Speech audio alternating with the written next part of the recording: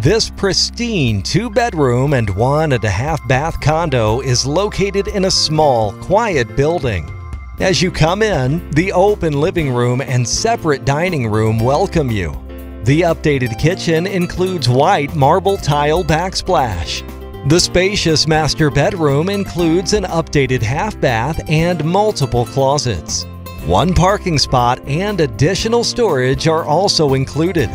Don't miss your chance. Plan a tour with Kathleen Tyrrell today.